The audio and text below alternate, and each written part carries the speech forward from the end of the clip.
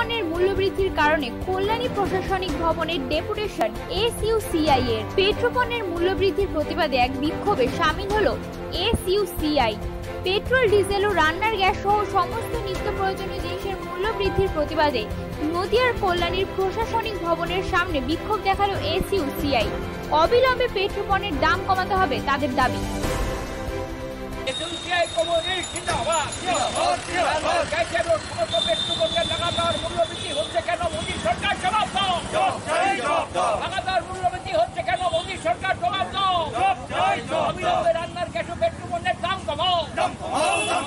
নদিয়া থেকে মলয়দের report Times Bangla.